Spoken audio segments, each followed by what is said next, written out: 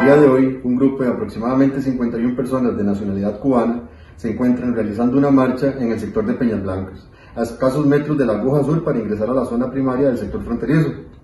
Estas personas han manifestado su intención de continuar el viaje hacia los Estados Unidos. Sin embargo, los oficiales de esta policía le han indicado y ya se les ha hecho ver a estas personas que no es posible continuar el viaje ya que no podrían pasar por territorio nicaragüense.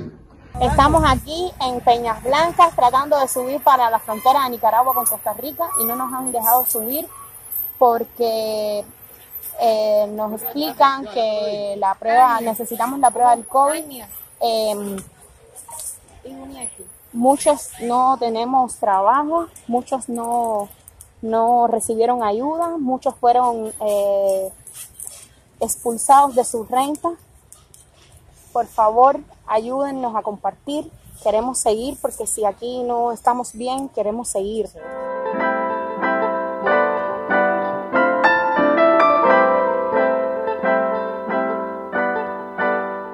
No obstante, las personas de forma pacífica se han hecho a un lado, no están bloqueando la vía y han manifestado su intención de mantenerse y permanecer en ese lugar, ya que aquí no tienen condiciones para poder quedarse. Eso, ya que debido a la pandemia han perdido sus trabajos y no tienen forma de subsistir en el país.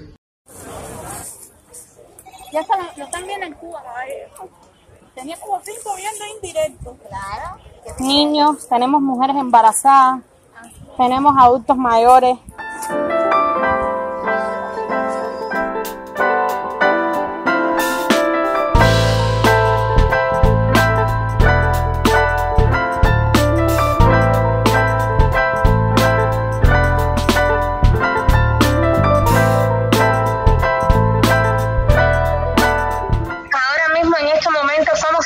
56 cubanos.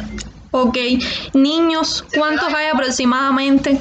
Veo niños chiquitos en la transmisión en Niños directo. tengo, sí, niños tengo tres y uno de 14 años. Ustedes eh, son cubanos todos eh, que ya pidieron, que solicitaron refugio aquí, que llevan, me imagino, unos meses aquí, algunos más tiempo.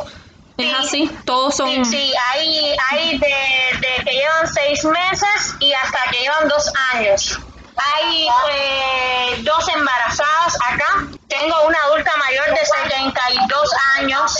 Tomamos esta decisión porque la ANUR y el gobierno de Costa Rica no se ha preocupado por nosotros. Muchos no tenemos ni donde vivir. Eh, muchos estábamos donde amistades porque ya nos habían botado de la renta. La ANUR no se ha pronunciado, no nos ha ayudado, nos llaman y nos dicen que tenemos que esperar ver si clasificamos para la ayuda. Y realmente todos necesitamos ayudas económicas y lo que más dan es ayuda de la de salud, pero pero realmente cuando van no, no los quieren atender. Mi mamá, por ejemplo, es una de ellas que no la han atendido. Eh, el medicamento se lo han dado vencido.